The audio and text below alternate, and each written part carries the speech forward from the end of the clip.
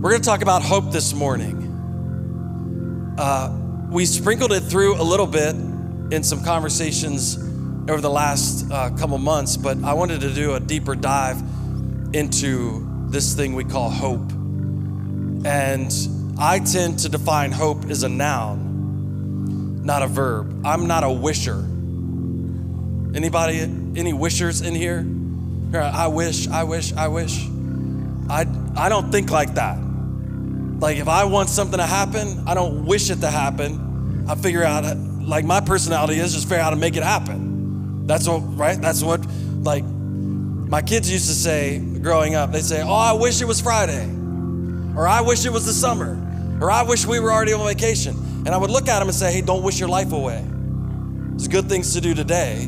Don't wish it was some other day. Live life to the fullest today. And so um, I tend to not look at hope as a verb, like I hope this happens. I tend to look at hope as a noun. I have hope. Are you following me? And we're gonna we're gonna look into Hebrews. Um, and hopefully be encouraged this morning by that. But I need you to understand right up front that our hope doesn't come from anything on this earth. Now, I know if you just walked into church for the first time, you're like, I was hoping for a raise. We can talk about that later. But whether you get a raise or not, you can still have hope because our hope doesn't reside in our circumstances or our or our financial circumstances or or or whether taxes are going to go up or down or whether interest rates are what they are it just doesn't or diesel fuel. Anybody check that lately? That's not where we get our hope. We get it from somewhere else. We're going to talk about that.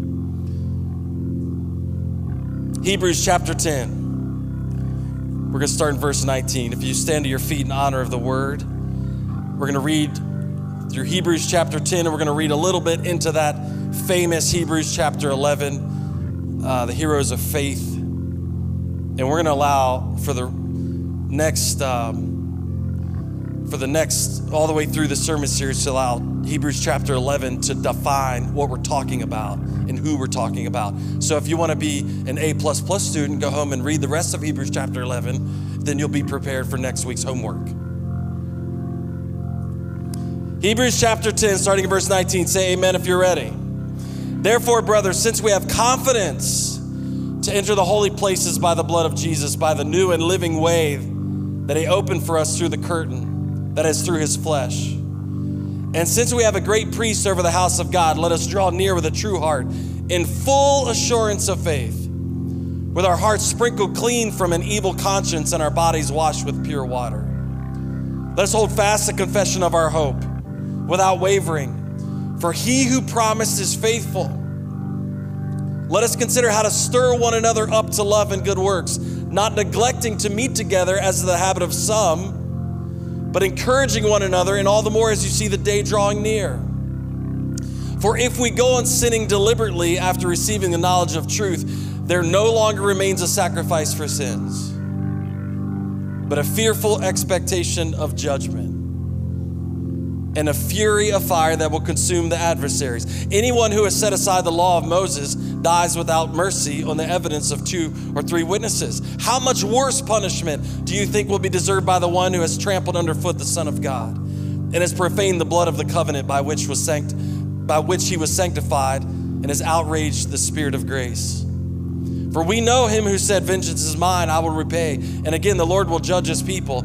It is a fearful thing to fall into the hands of a living God. But recall the former days when after you were enlightened, you were you endured a hard struggle with sufferings, sometimes being publicly exposed to reproach and affliction, and sometimes being partners with those so treated.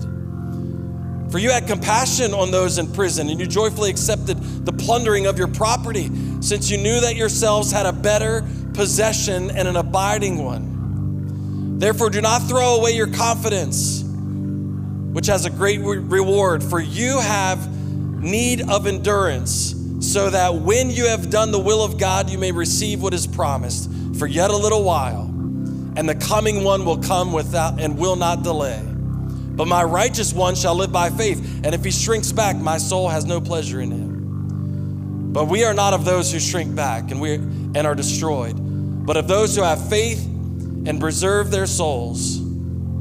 Now faith is the assurance of things hoped for, and the conviction of things not seen. For by for by it the people of old received their commendation. By faith we understand that the universe was created by the word of God. And so that what is seen was not made out of things that are visible. By faith Abel offered to God a more acceptable sacrifice than Cain, through which he was commended as righteous, God commending him by accepting gifts. And through his faith, though he died, he still speaks. And by faith Enoch was taken up so that he should not see death and he was not found because God had taken him. Now, before he was, before he was taken, he was commended as having pleased God. And without faith, it is impossible to please him. For whoever would draw near to God must believe that he exists and that he rewards those who seek him. Father, we thank you this morning for your goodness to us. We thank you for your word. We pray, Lord, that we wouldn't just walk away feeling good, that we'd walk away being changed. Change us. Renew our minds this morning and make us more like Christ. In Jesus' name we pray. And everyone said, Amen. You may be seated. We're going to get into this introduction to the idea of hope today. We're starting Hebrews chapter 10 and move on to chapter 11, just the beginning of it. I want to, before we do that though, let you know uh, and remind you we are starting um, uh, what traditionally is called a capital campaign or however you want to call it. But, but if you weren't here last week, I, I told um, the congregation last week in all three campuses that Hope Community Church is in a, a very unique position. Um, this last year, we did a $400,000 uh, principal payment on the mortgage here uh, in Hedgesville. Yeah, that's a big deal. We, um, this year, we launched a church in Concord, New Hampshire in May, and then we just, a couple weeks ago, closed on the building in Berkeley Springs. And that building cost, um, cost about $400,000. We put a little bit of cash with it and, and mortgage and uh, assumed a 3.75, I think it was 3.75. When's the last time you heard that number? 3.75% mortgage over the next three years at about $350,000 total. So as it stands, we are, we are paying cash for construction uh, things in Berkeley Springs and here in Hedgesville. And as it stands, I believe in the next year or so that we could be totally debt free as a church. That's pretty crazy. Yeah. So uh, if we if we came together as a group, all three campuses, and and raised 750, 800,000, 2 million, um, you just want to add that one more outlier in there. Um, that we could be a debt-free church at this time next year, ready to take on the next opportunity that God has for us. Amen. So there, I just wanted to let you know there's a card, there's a seat, a card in the seat in front of you. Uh, and there's several ways you could do this. If you prayed about it this week and you already know uh, what God what God would have you do, you can write that on there if you want to and say, "Hey, this is a one-time gift," or "I'm going to make this commitment monthly for the next year." Or you can scan that QR code and go online, do it digitally, one way or the other.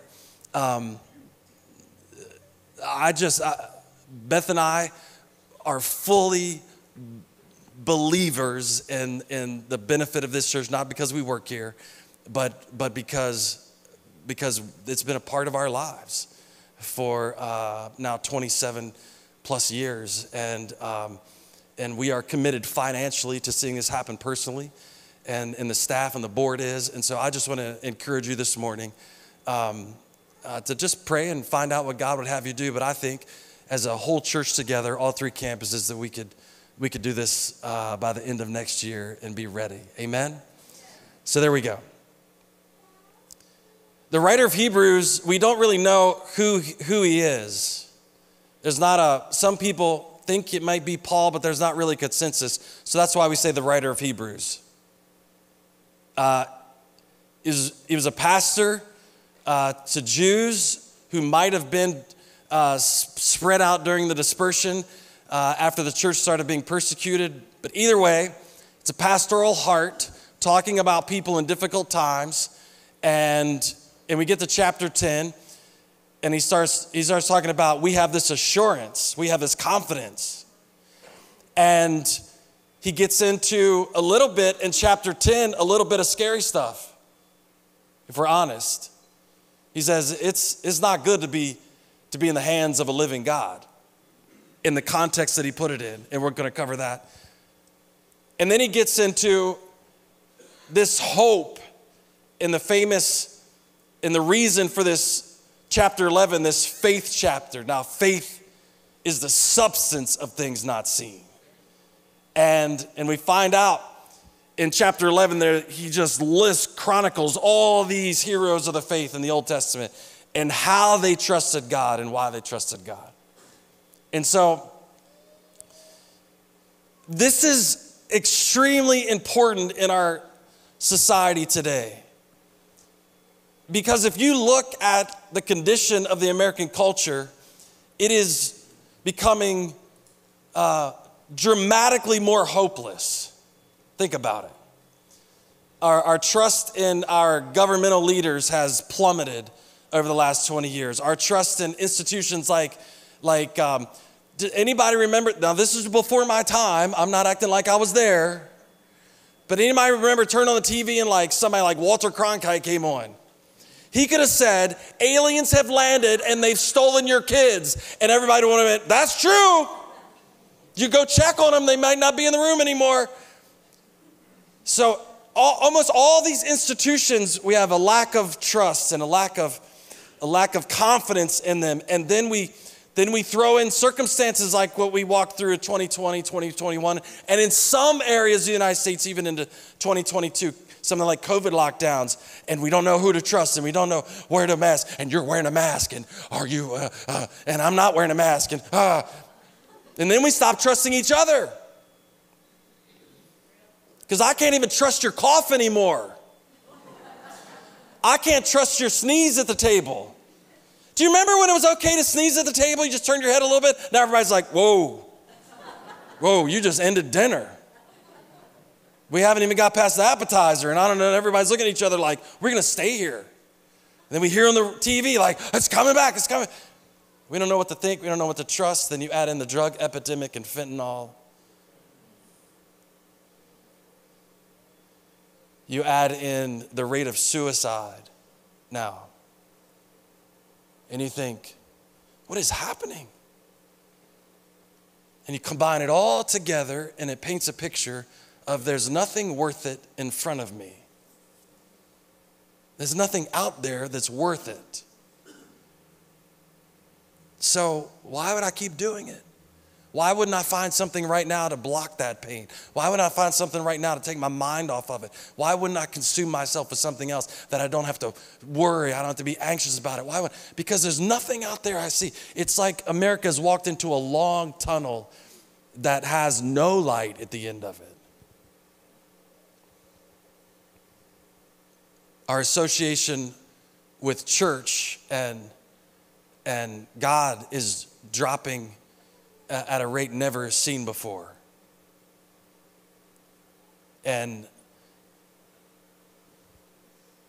organizations and denominations that, that we used to look at, the, the largest ones in America are their attendance is plummeting. And so we paint the whole picture and we go, man, it's kind of bleak out there. And inflation and all these things and you feel the psyche of America kind of tighten up and go, I don't see any, I don't see anything on the horizon. And, um, and just a little personal commentary here for a second. By the way, our political seasons are so short, it is, um, it is not helpful to put our hope in politicians. Unless you want your hope to be in four year cycles. And I think that's a little depressing. So the writer of Hebrews comes along and he says, first of all, I need to remind you that we can have this confidence now. Now, now you say, well, why is that so important? We talk about having confidence uh, to go before God all the time. You have to remember he was writing to Jewish people who had been taught their whole lives uh, that, that there was only certain people that could go into the presence of God. The high priest, there, there, was, there was only certain times and there was only certain circumstances, and that normal people didn't just confidently go before God. It wasn't, there, there wasn't a pathway into the temple to be able to do that. And so the writer of Hebrews is reminding them that, listen, since Jesus has died and resurrected, some of you may remember at the crucifixion when Jesus said, It is finished, there is a veil in the temple that separated the, uh, this place they called the Holy of Holies that you couldn't go into. And when Jesus died, that veil split open, symbolically representing that now we have access to God. Could you imagine having access, all of a sudden access to something that you, it's like, it's better than winning the Powerball. What is it, almost a billion dollars again or something like that? I don't know. You want to pull it together and see if we can get it church paid off? Um, that was a joke. Everybody's like, hey, that sounds like a plan. Um, no, but imagine that. Imagine this is better than that. Imagine having money struggles and then having access to unlimited resources. So the writer of Hebrews is saying, remember Remember, we have this confidence that we can approach God. Remember when you lived without that confidence. Now you have this confidence to be able to approach God. That's a big deal. So he's explaining to them, he's reminding them of their position. They're confident. They're clean, not like not like they washed with Dove soap. But their sins have been removed and they have been assured of their future. So he's painting this in, ver- in chapter 10. Hey, listen, you can be confident, you can approach God in this confident manner, not, not, not arrogant, but confident. You know, there's two different things. You don't go to God and say, hey, you're going to do this for me.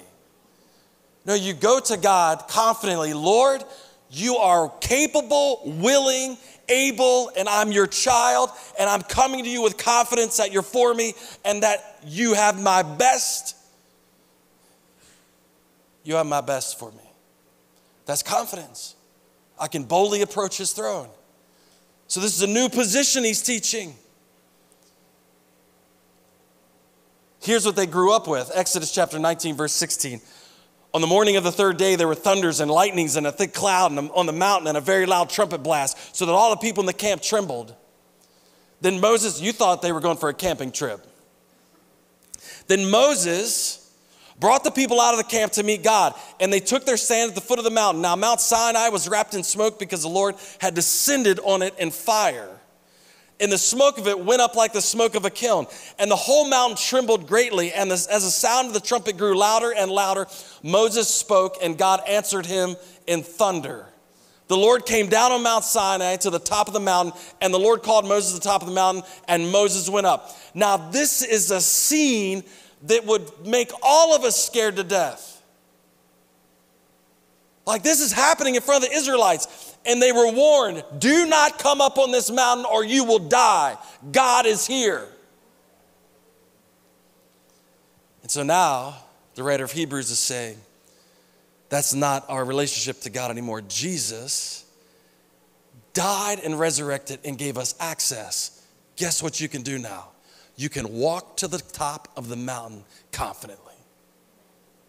You can walk up there and be with God. You can be, you can, you can be in your house and confidently be in the presence of God. Not because you're great, but because Jesus. But because of Jesus.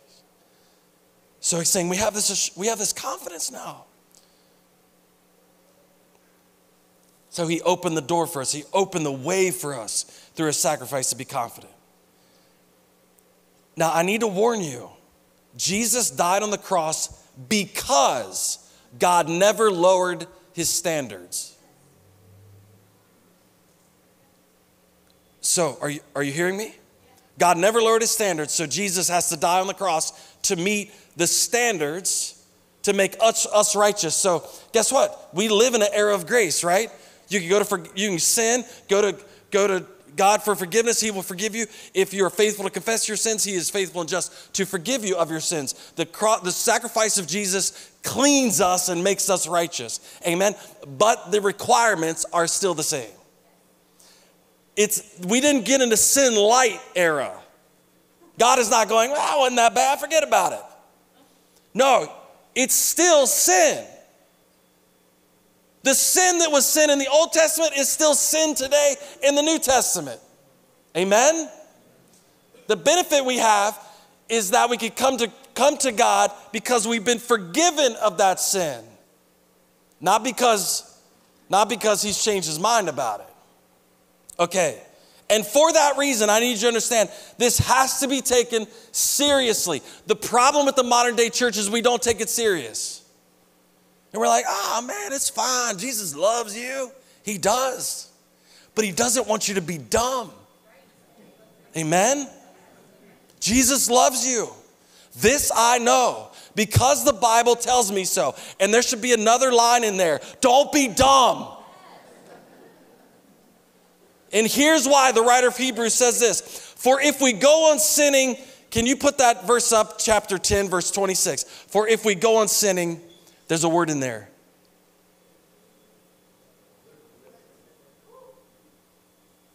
Okay, I need to explain something to you. This is not a character flaw. He's not talking about you have an addiction issue. He's not, he's not talking about that. He, he, he's, he's not talking about like, like I'm dealing with sin in my life, trying to figure out how to eradicate it. The writer of Hebrews actually right now is talking about people who knew the grace of God and are rejecting it. I don't need him anymore. If we go on deliberately sinning after I've received the knowledge of truth, there no longer remains a sacrifice for sins. What he's essentially saying here is this He's saying, okay, if you reject the grace of God, there is only judgment left. So, what the church has to understand, what we have to understand, is that is that we have assurance to go before God because of Jesus. We have been made clean through the blood of Jesus. We have been forgiven. But if we push that off in our life, we say, I don't need it anymore, I don't need this thing, he's the writer of Hebrews is giving them a warning. Don't play with this. Don't play with this because there's not option A, B, and C. There's not, he's forgiven me and there's grace, or there's no grace, or there's a little bit of me in the middle. There is option A or B, and if I reject the grace of God, there is only judgment left. There is no middle ground. Are you following me? So he's saying, You can't play with this thing. You can't play with this. You can't act like you can just go off and do whatever you want and reject the grace of God and reject what He's done for you and act like you're still part of the family. So that's a tough portion of Scripture. Amen? Then he gets into what, the basis of what we're going to talk about. He tells them we can come confidently before God it's not something we can play with. But then all down through this portion of scripture, you hear, you hear a unifying message. Hebrews chapter 10, verse 23. Let us hold fast to the confession of our hope without wavering, for he who has promised is faithful. Why are we holding fast? Because our hope is out there. Are you following me? And the one who promised us what would happen is faithful. So, what he's saying is, it will happen. So, what is yet to come will come, and we can count on that because the one who promised it that it would come is faithful. So, our hope is out there. Hebrews 10 34. For you had compassion on those in prison, and you joyfully accepted the plundering of your property, since you knew that you yourselves had a better possession and an abiding one you, they were able to give up what they had on, on, in this life because they knew they had a better one to come. Do you see the theme? Hebrews chapter 10, 36. For you have need of endurance, so that when you have done the will of God, you may receive what is promised out in the future. Hebrews 11, 6, and without faith it is impossible to please him. For whoever would draw near to God must believe that he exists and he rewards those who seek him. When you get rewarded? The, the, the, the theme that ties this together, he's telling, he's telling these believers hey, listen, listen, you're in a new position through Christ. You have confident access to God. Don't play with that. But in your circumstance right now, now, can we just be totally transparent? Because if I don't, my good friend Nat Sagenario, who reviews all my sermons, will say, Chris, why didn't you bring that up? So, Nat, I'm bringing it up. He does that to me every week. And I'm going to give him credit for this. He always tells me, Chris, these, these saints in Hebrews, in the book of Hebrews, were suffering physically for the gospel. Did you just read it? It said they plundered your houses. Now, can we be honest? Somebody criticizing you on Facebook because you put a praying emoji up, it's not the same. It's not the same. It's not even close. Because you could turn Facebook off. And then you won't suffer persecution anymore. Wow, it's that easy. Hey, I'm getting persecuted online. Whoa, it's hard. Do you know what happens? When they plunder your house, you can't turn that off. So I always try to contextualize with you that what we read in Scripture is this extreme, and we are flipping out because of this extreme. So it would be it would be disingenuous to compare our sufferings to the ones he writes about. And so whenever I read these things, I go, Lord, if my suffering is a fraction or not even to be equated with what they suffered in the first century church, in, in, in, in, the, in the Jews who were scattered outside of Jerusalem, if my suffering is not even to be, to be compared in the same sentence, why don't I embrace this hope more?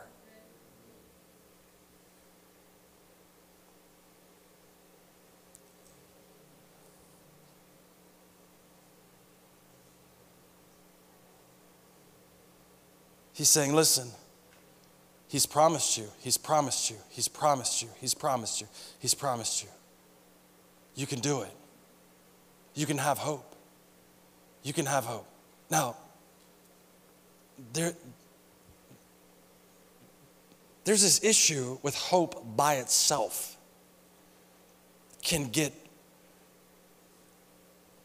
there's got to be a thing attached to hope to make it work out so this is what he tells them. He's actually quoting in Hebrews chapter 10, 37. He's actually quoting from the minor prophet Habakkuk. He says, For yet a little while, and the coming one will come, and without delay. He reminds them, he's coming back. So I need to, I need to draw everybody in real quick. Okay, ready? The writer of Hebrews was not promising them wealth. He was not promising them prosperity. He was not promising them health. He was not promising them any, any of those things. He was saying, You can go confidently before God. God will supply all your needs according to riches. Like, all that teaching. God is for you, He's with you. He's there to give you peace. He's there to do all those things. What the writer of Hebrews is promising them is that Jesus is coming back. Now, I can tell you, I was expecting that response. Yeah. Because it's been a long time. We talked about this last week. It's been a long time. And everybody's like in the room going, Yeah. You know, they just did a government investigation into aliens, too, Chris. The church has been doing this Jesus coming back thing for a long time. Mm-hmm. We have. And they did as well. And just because it takes a while doesn't mean it's not true.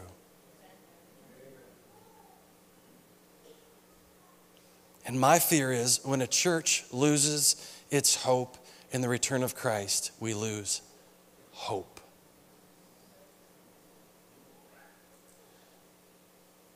And if we're gonna hope in an idea of floating around in heaven as cherubims playing harps and just existing in this weird other universe, it won't work. The writer of Hebrews was talking to a group of people who had suffered and said, he was telling them, Your Savior is coming. You can count on it. And your existence on this earth for a tiny little bit will be worth enduring through and worth serving Him and worth acting out in faith because when He returns, what he brings with him will be beyond any expectation you could ever imagine in your mind. There's not been a human being alive on this planet who has ever been able to conceive what God has went and prepared for us. And the writer of Hebrews is saying, listen, it's worth it. And the problem with the modern church is all we can conceptualize is what he can do for us tomorrow. We never think past what if tomorrow doesn't work out? Is it still worth it? What if in six months it doesn't work out? Is it still worth it? And he's telling, the pastor is telling the church, I'm telling you it's worth it. He is coming back. And when the church operates, I know that I know you're like, man, this is old school preaching, Chris. I don't know if people in this century are going to take it. The Bible also says that will happen.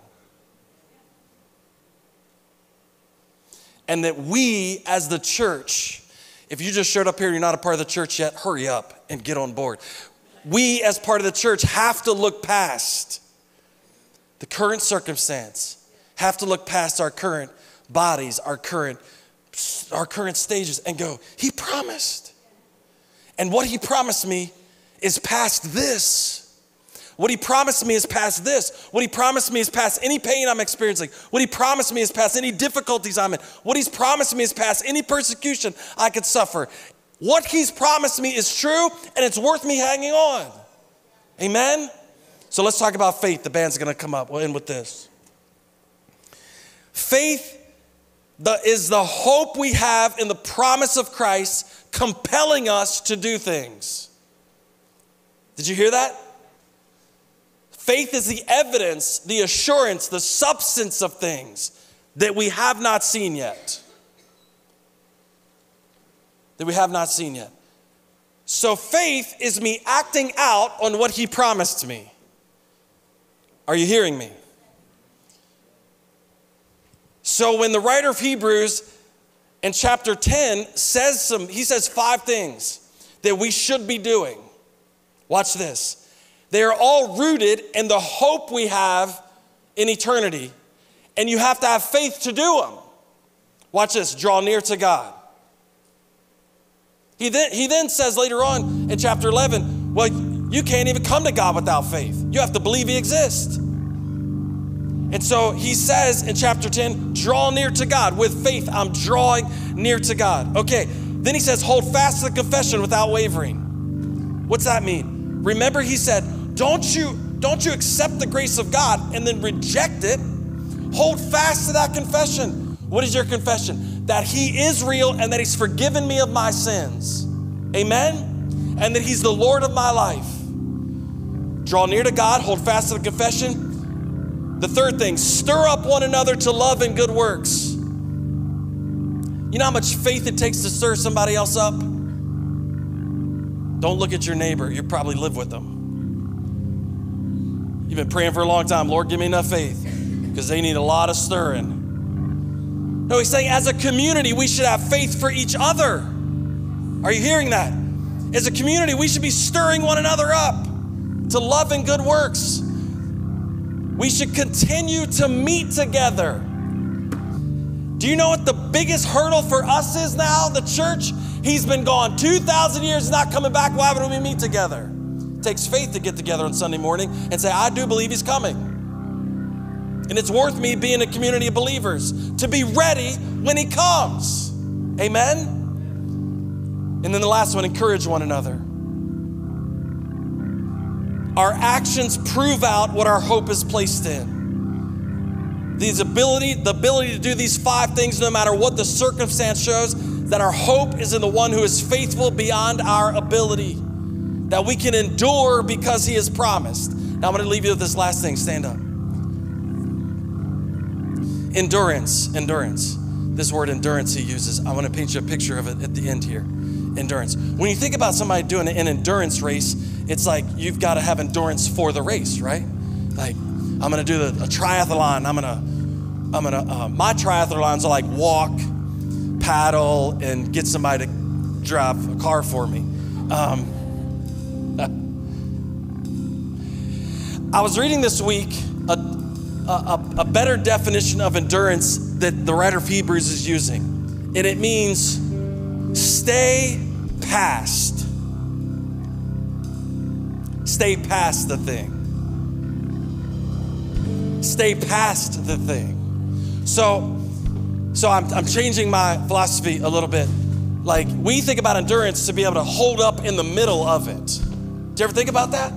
Like, oh, they've got endurance. Why? Because they're in the middle of it. They're holding up well in the middle of it. Like, oh, they've worked out. They've they can stand up in the middle of those things. We think about endurance. Endurance is really the evidence that you made it past what is happening to you. And so, what our culture needs now is a church who sees past what is happening and then has been empowered to act in faith in the middle of what's happening to last past what's happening. Are you following that? So here we are. I need your eyes to look past what your current circumstance is right now. I don't care what it is. I don't care what it is. How I'm not being flippant. I'm not I'm not disregarding your circumstance, but trust me when I tell you this. If you put your head down and you just think about what's happening, it might not be worth it. I'll just be honest with you. That's why the Bible doesn't tell us to think about our circumstances. Fix your mind on things above. That's what it tells us. Having the same mind as Christ for the joy set before him, endured the cross. The reason he was able to stay past it is because he believed in something past it. So I need everybody right now to think about where you are, but then think, God has something for me past this. There is a past. Look at your neighbor and say, There's a past this. Tell him. Don't let, if you're having marriage trouble, don't say that. Don't say it that way. That wasn't helpful. But say together, there's a past this. Amen. If you're having trouble with your kids, look at your look at your spouse and say, "There's a past this." If you're having if you're having health problems this morning, look at your neighbor and say, "Hey, there's a past this." If you're in financial trouble, look at your neighbor and say, "There's a past this." If you're having trouble it works, say, "There's a past this," because He's promised us a hope that we can be confident in Him. The one who has promised is faithfully said. And what does He do? Through that hope, then we act out in faith and we say, I can do this. Not because of my own strength, but because He who promised is faithful. And I am going to endure not just in the middle of it, but I'm going all the way past it. I'm going past it. If we could have churches all across America with a, a stay past it mentality, it would change our culture. It would change our culture. Can I pray that over you this morning? Our hope is not where you are, it's past where you are. And He's faithful to get you past there. And He is coming back. Father, we thank you for this. Lord, I'm asking you right now the enemy seems to have a lock on our minds sometimes. And he pulls us down into the current ditch we are in. And we struggle to lift our heads up. But I'm asking you today that we would lift our heads to where our help comes from.